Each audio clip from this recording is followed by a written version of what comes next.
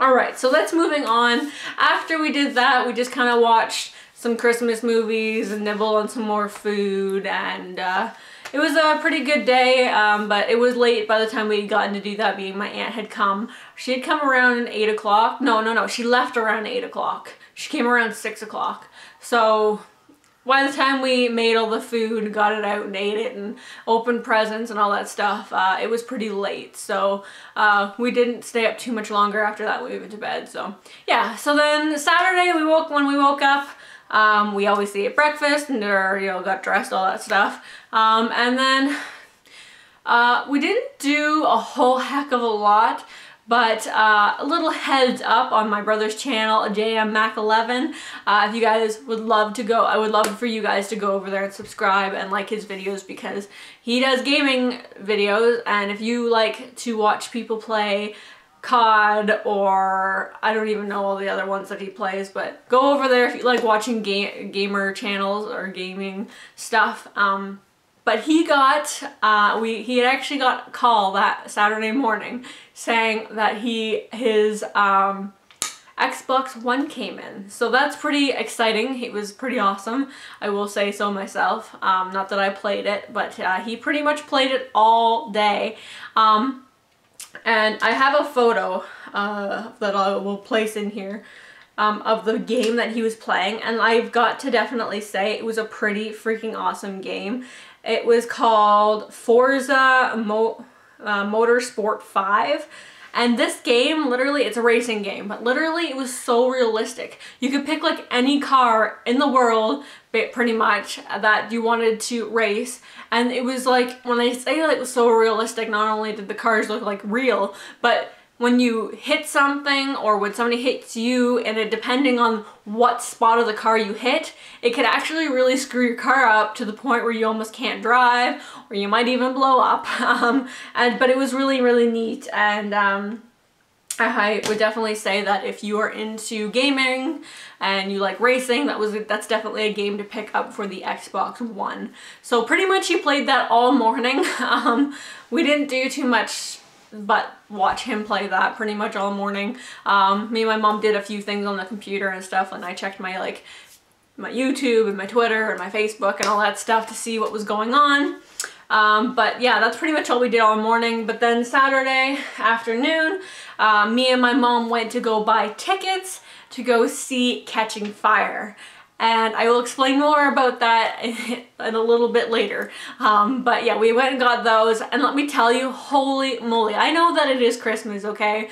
But literally the mall, okay, the the it was the Galaxy uh, Cineplex that we went to go see when we went to go get the tickets, but there's a mall like next to it, and holy moly, it was insanely busy. Like, I'm not even kidding. There were people walking everywhere, vehicles driving everywhere. I didn't even go into the mall. I could only imagine how crazy in the actual mall was.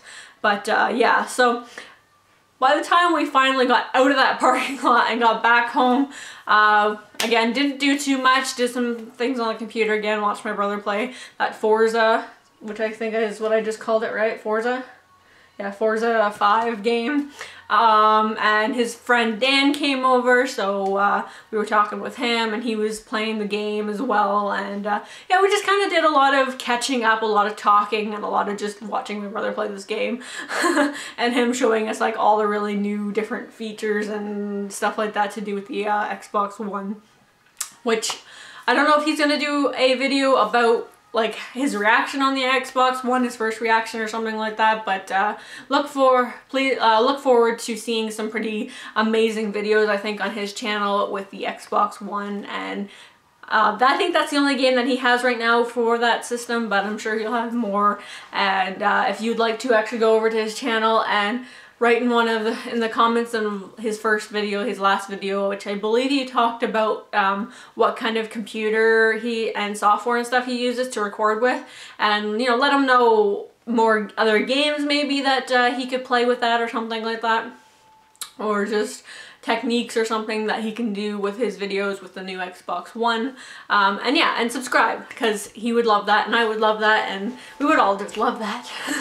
so anyways, moving on. Um, after my mom had gone, actually after we all kind of just sat around watching him play this. My mom went and had a nap before we went to go see the movie. And then my brother's friend, Adam is his name. I don't know if I'm allowed to even say his name, but he's giving me permission to talk about his children, who are actually twins, and they are my brother's godchildren. So that was pretty awesome to find out that news too. Um, and let me tell you guys, they are freaking adorable and I will post photos of them because his, his parent or their parents did let me uh, do that. So I will post a photo right here of them. Um, and yeah, they are super adorable, let me tell you guys. And yes, they are twins. I think the word is paternal twins because they're a boy and a girl. Um, so they're not identical, um, but they are freaking adorable, so sweet. Um, the little boy's got the cutest little chubby cheeks and a little pouty lip and she's just on her own little world because literally she started just started to like crawl and now she wants to try and walk and all this stuff so she's pretty adventurous.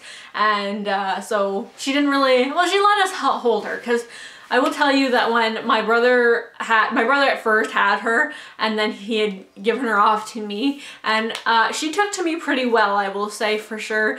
Um, she, but she really didn't want to like be held the entire time. She wanted to like get on her feet so she could stand there while I was holding her hands in my hand and she was just kind of standing in front of me because I don't think she can actually walk yet, but she apparently is trying. Um, oh, by the way, they are 10 months old. They were 10 months last Monday, so that's how those two are. And anyways, so going back into my story, uh, my when it was time for my mom to wake up, me and my brother took the twins up to her bedroom to wake her up. And uh, obviously she was surprised and happy to see them. But uh, once my mom had kind of like got out of the bed and was just sitting on the bed um, with her feet like over the bed, right? Um, I had tried to give, um, oh, well, I guess I should tell you their names. The girl's name is Kiana and the boy's name is Landon. Super sweet names, super unique names. I love them. Um, but I tried to give Kiana off to my mom and she literally started like crying and screaming and like doing the whole like give me back give me back and so that was really sweet i thought that was really cute and i wanted to share that with you guys because i love babies and when they take to me like that it's pretty awesome i think so yeah um, all right, so once my mom woke up, we just kind of like played with the babies, watched them walk around or crawl around on the floor and stuff like that because you can't help but watch a baby do things because babies are just cute.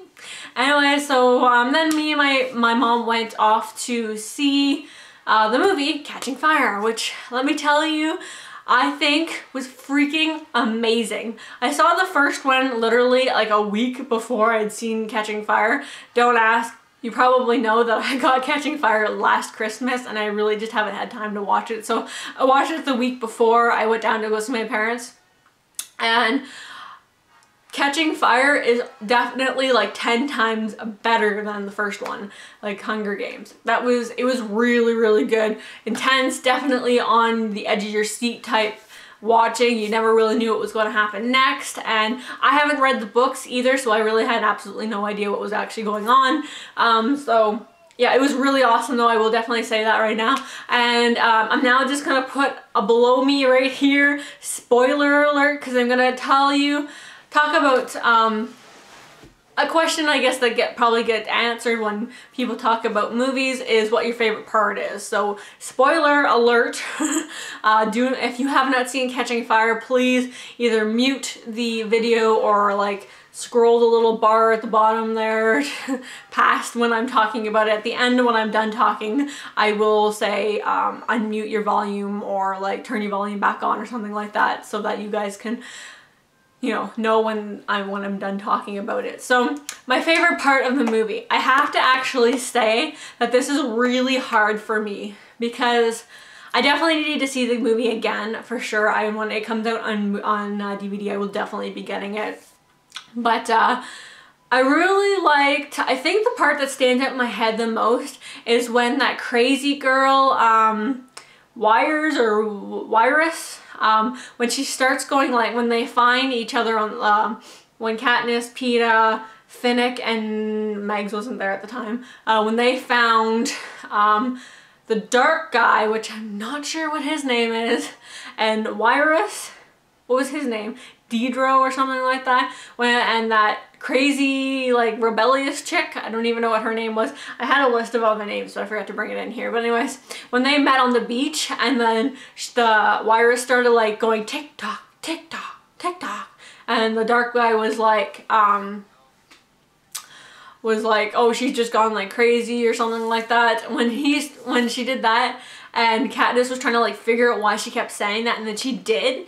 She, it, that was pretty cool. I thought that was a pretty awesome part. She was just like all of a sudden she was like, oh my god, the clock does this and this at this section does that and that section does that and that was really neat. I thought that was pretty cool. Um, I obviously liked that when Katniss um, re finally realized that she really loved Peeta um, at the beginning before they actually go into the arena and uh, you know she kept saying to their like trainer guy can't remember his name um when they kept saying when she kept saying to him like make sure Peeta lives. Don't let him die all this stuff. And uh, they got those like gold tokens which I thought was really neat that each one had their own little gold token which I thought that was, I thought that was really cool too. Um I don't know I think that those were probably my two most outstanding parts of the movie that I really liked. Obviously, I liked all the like crazy action parts. I jumped a lot in the movie, so there's no way that you can sleep through this movie. I'm just telling you that right now. Literally, it scared the bejeebers out of me. half the time um, but my the Adam the guy the father of those twins he had went to see it and he said he fell asleep or he slept through the first like hour of the movie, which I could just like kind of understand because it was more of like talking and then one going to each of the um, districts and talking to each of the districts about what yeah, they he had fallen asleep through the first hour and now he said he was sick too so that didn't probably didn't he said that probably didn't uh Anyways, I don't know how he slept through it, but I guess he did, and I could, like I said, I could understand the beginning anyhow, but uh, he actually said he didn't like the movie either. So we were trying to definitely convince him to go see it again because there's no way that you can't like this movie. Literally, it is freaking amazing. The only way you might not like the movie is something my dad actually came out with. Now, he wants to actually go see the movie too, so I'm not going to say that he doesn't like the movie or doesn't want to go see the movie because he doesn't want to go see it, but he said he's a big Stephen King fan and he said that there was a book and a movie called The Running Man, I believe is what he said, that is like basically exactly the same as Hunger Games is. So if you're a Stephen King fan, maybe you're like sitting there going like, well, why would I go see that when I've already seen The Running Man? And there, you know, there's no way. It's just stupid. They just did the same movie, but different people in different ways. Um, but uh, I honestly say that I could see how maybe you don't want to go see it because of that. But honest to God, I mean, I've never seen The Running Man, but my dad did explain to me like the the similarities to it. But I have to definitely say that you should go see this one anyways. It is a lot more modern, obviously, and um, it, it's really good. That's all I can say. It is really amazing video. I will definitely say that, or film or movie or whatever you want to call it. It is definitely amazing, and I will definitely be going to go see the last two movies. The last two movies, I believe, are split in two.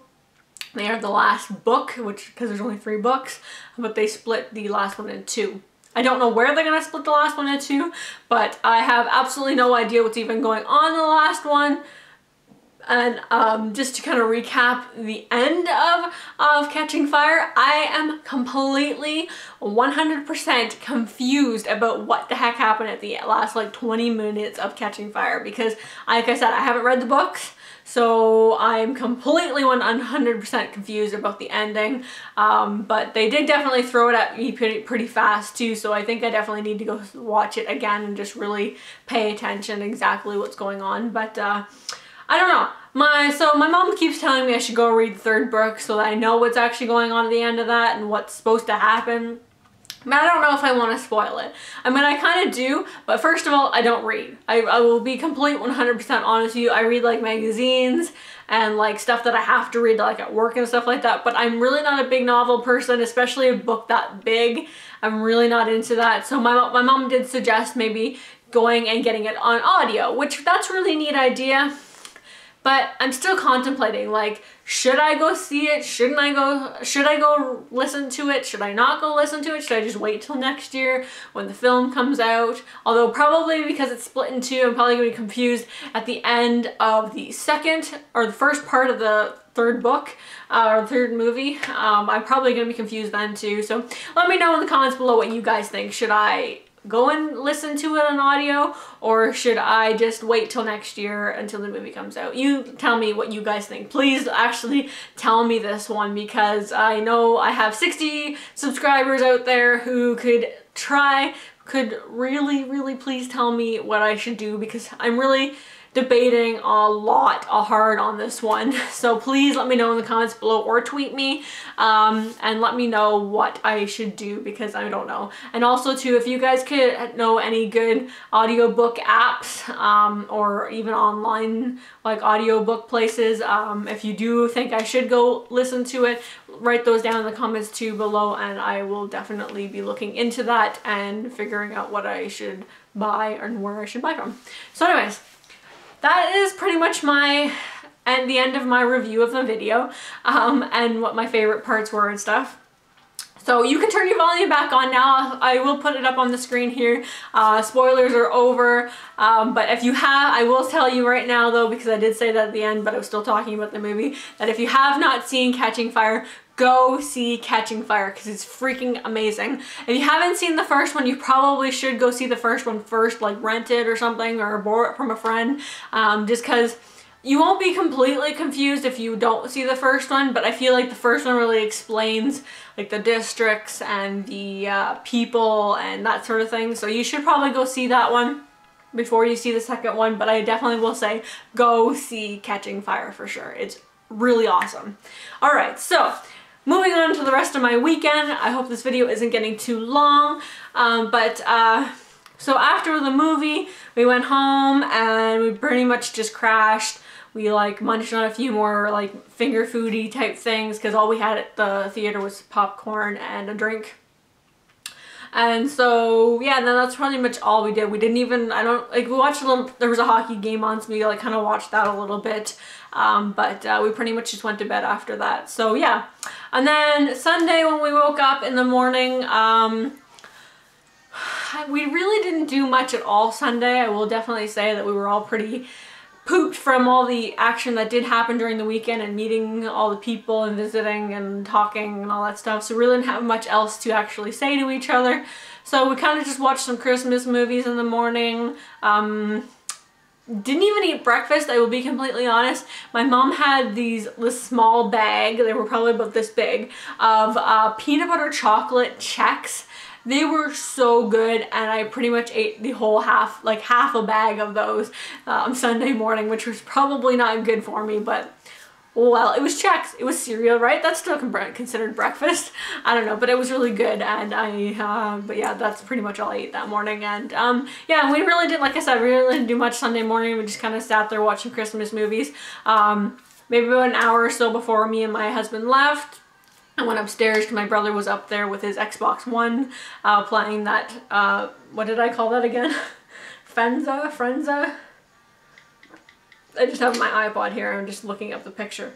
Forza, the Forza 5 game. He was still playing that um, Sunday morning. So I went up to kind of watch him play that and we were just scrolling through the cars and watching like the little clippets and stuff like that for each of the races and things which were pretty cool. I'm I do like cars for sure and I'm very into like the vintagey type stuff so uh, it was kind of neat to watch that with my brother and spend some time with him. And then we packed the truck up and we went home and that was pretty much my weekend. After when we got home, we just unpacked and did laundry and went grocery shopping and all the boring things that you have to do in life to move on in life. Um, so yeah. But I will definitely say I had a really great weekend and I thank my family and my friends for all the um, you know, lovely stories and stuff like that that I got to hear and obviously all the amazing gifts. Um, I'm definitely more of a giver than I am a receiver of gifts so I like to watch everybody else open theirs before I even get anywhere near mine. I could have like the biggest pile of presents in front of me and I would rather watch everybody else. So, but thank you very much for all the gifts and thanks for letting me visit and talk and thank you to my aunt and Adam and the babies for coming and visiting me. I enjoyed your company and I am glad to have met both of your babies and I hope to be seeing them again soon. I probably won't be seeing anybody again now in my family till spring, which is sad, but it's hard to travel there in the wintertime with the slippery roads and the miserable weather that we get here in Canada, so I usually don't go see them again till spring, but hopefully I will see everybody then, and yeah, so I hope you guys enjoyed this video. Um, Next week, I realized that this is the beginning of the month, so you're probably wondering why this isn't a favorites video, and that's just because I really wanted to talk about my weekend and let you guys know what I was actually doing last weekend. So my favorites video will be next weekend. The weekend after that will be my top box. And then hopefully crossing my fingers that the weekend after Christmas, I will be doing my Christmas decoration slash house tour then. So look forward to that. Um, don't hopefully we don't get our hopes up too much because I really don't know what's going on. Um, I find I promise you guys things and then other things come up and I feel so bad for letting you guys down but I am hoping and praying and finger crossing that that weekend will definitely be my Christmas decoration slash house tour. So yes, and actually funny story too, Ingrid is doing the same thing like that exact same weekend too so that's really cool. She just moved into an apartment and she said she was going to be doing her apartment tour that weekend too. So two uh, house slash apartment tours in the same weekend and uh, yeah I'll link her channel down below if you guys don't already aren't already subscribed to her or don't already watch her videos but anyways so I hope you guys had a fantastic weekend yourself and I am now going to stop talking because my throat's getting dry and you guys probably getting bored as heck now. So I will see you guys all next weekend in my next video. Bye!